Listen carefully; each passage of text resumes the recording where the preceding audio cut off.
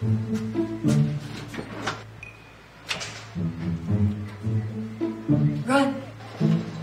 Ano?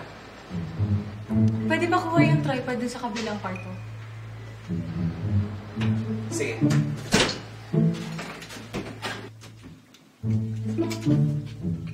Ron, Ron.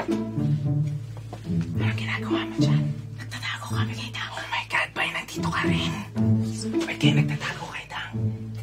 Tinatamad kami. Ah, makes sense. Wait, ano meron kay Dang? Ano meron kay Dang?